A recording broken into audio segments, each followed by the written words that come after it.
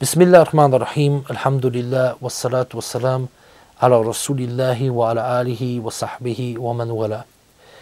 Ähm, heutzutage sehen wir leider, dass viele Muslime den Islam nicht so praktizieren, wie sie ihn praktizieren sollten. Und zu den abscheulichsten Erscheinungsformen dieser Art gehört es, dass manche Muslime an Glücksbringer glauben, beziehungsweise Glücksbringer an ihre Tür hängen oder um den Hals hängen oder was auch immer.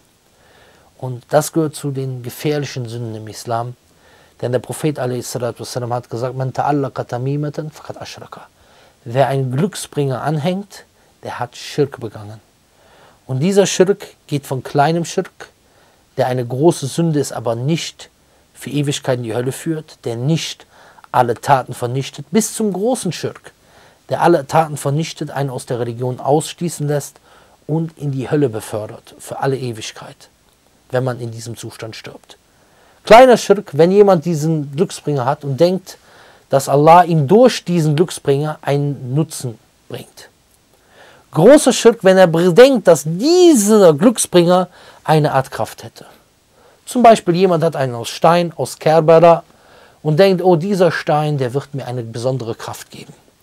Oder jemand hängt ein blaues Auge auf und denkt, dieses blaue Auge wird ihn vor dem bösen Blick schützen. Wenn er denkt, dieses blaue Auge schützt ihn vor dem Blick, ist das große Schirk.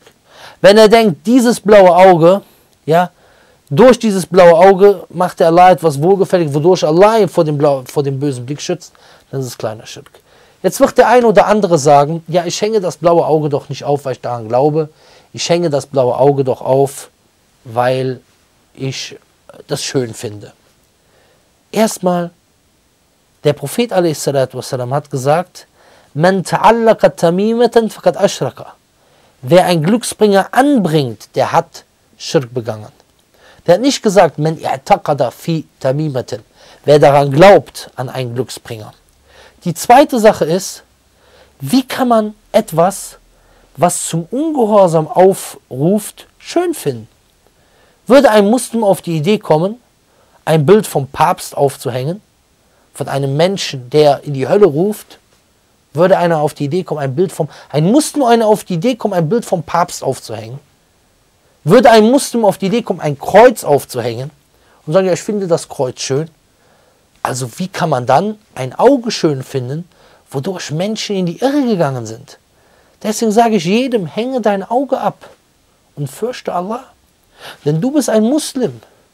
Du bist ein Muslim und die Menschen nehmen dich zum Vorbild. Bei dir in deinen Laden, in, deine, in dein Geschäft, in deine Bäckerei oder was auch immer, kommen Jugendliche.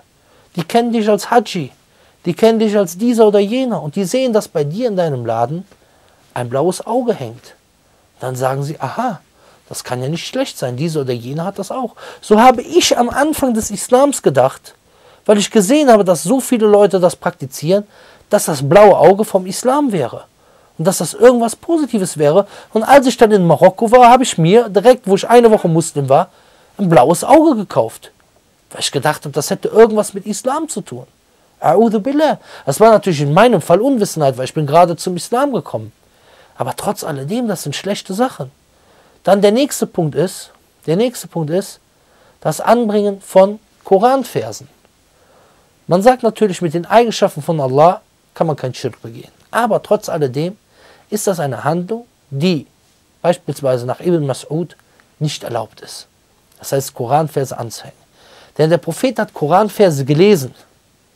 Er hat Koranverse gelesen, der hat Koranverse rezitiert zum Schutz. Und er hat nicht gesagt, schreibe dir was auf den Zettel und trage das dann als Glücksbringer.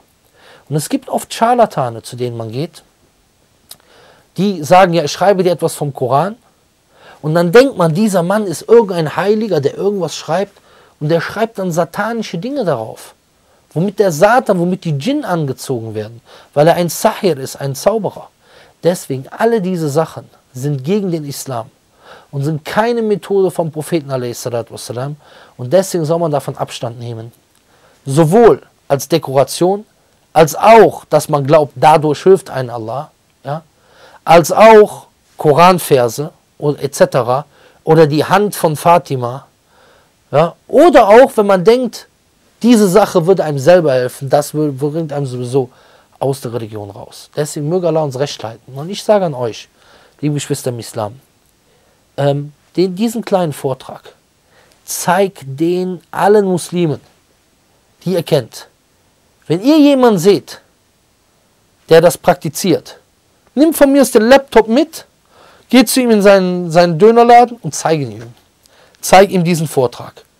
Unser Ziel muss es sein, diese ganzen blauen Augen rauszuschmeißen. Natürlich dürfen wir nicht in den Laden reingehen und nehmen das blaue Auge, das ist sein Besitz. Ja? Aber wir müssen die Leute aufrufen. Und unsere Pflicht ist nur, die Botschaft zu überbringen. Gehe dorthin und sage zu ihm, schau mal, lieber Bruder, das, was du tust, ist falsch. Diese Sache sollst du nicht machen. Dann argumentierst du auf diese Art und Weise. Wenn er sagt, ja, nur Dekoration, dann sagst du, ja, guck mal, du bist ein Haji, du bist ein dieses, ein jenes.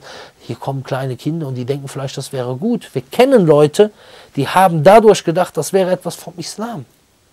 Hänge doch etwas anderes auf. Und dann natürlich auch den Menschen klar machen, dass auch das Aufhängen von Koranversen etc. nicht von der Sunna ist und äh, zumindest und schon gar nicht, wenn man denkt, dass dadurch Glück bringt, sondern Ayatul Kursi hilft, wenn man Ayatul Kursi liest. Denn die Einnahme der Medizin ist auch wichtig. Wenn ich zum Beispiel eine Spritze habe, aber ich nehme die Spritze oral ein oder durch die Nase ein, das wird mir vielleicht nicht helfen. Ja, wenn ich ein Zäpfchen habe, ja, und ich nehme das Zäpfchen in den Mund ein, dann wird mir das Zäpfchen nicht helfen. Das heißt, die Einnahme ist wichtig. Die Einnahme ist wichtig Ja, die Spritze muss gespritzt werden in die Vene. Die kann ich nicht trinken. Das wird sie mir wahrscheinlich nicht helfen.